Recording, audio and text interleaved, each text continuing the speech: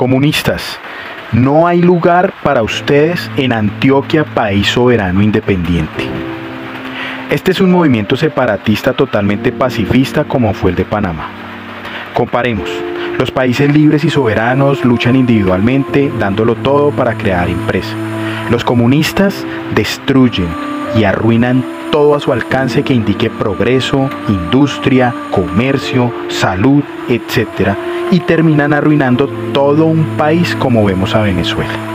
Recordemos, el desarrollo de la industria venezolana se debió al esfuerzo de la mano de obra colombiana. La ruina, el fracaso y la destrucción económica de Venezuela se dio por los comunistas. Imposible olvidar lo que les hicieron a las empresas colombianas como Almacenes Éxito y muchas más. Los colombianos veníamos admirando la calidad y eficiencia del servicio de la EPS Sanita. Hoy la criticamos por el pésimo y deficiente manejo que junto con el gobierno tienen, entre otros, de los medicamentos que se administran en el país necesarios para aliviar los padecimientos de los pacientes terminales y crónicos. Dijeron que en mayo de este año estaban disponibles y estamos a finales de junio, aún no podemos acceder a ellos.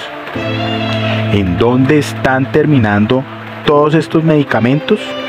Así empezó en Venezuela la crisis de la salud debido a las reformas. Cerrémosle las puertas ya a esos destructores comunistas antes que sea demasiado tarde para la industria, el comercio y el progreso. Limpiemos pacíficamente nuestras empresas. Abramos las puertas a los emprendedores que han demostrado sus capacidades creativas y acojamos a las personas de buena voluntad sin importar de qué región vienen. Comparemos.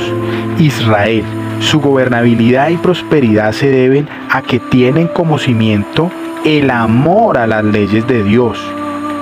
Corea del Sur país libre e independiente con una de las industrias más desarrolladas del mundo gracias a que no aceptó el comunismo. Corea del Norte, un espejo salvaje y devastador del comunismo ruso. Y Rusia, comunista, esclavizador, fracasado, arruinado, parásito que se apodera de los recursos naturales de sus países esclavos. Su Dios son las armas de destrucción masiva. Es lo único que construyen. Solamente piensan en la destrucción de la humanidad a través de una guerra nuclear.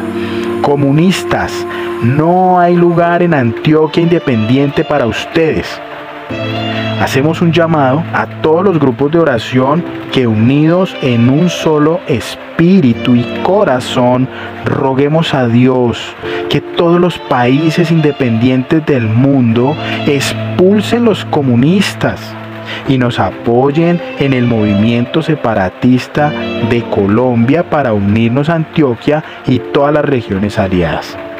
Esta es la voluntad de Dios Todopoderoso manifestada de Fátima. Difunda el mensaje por todas las redes sociales.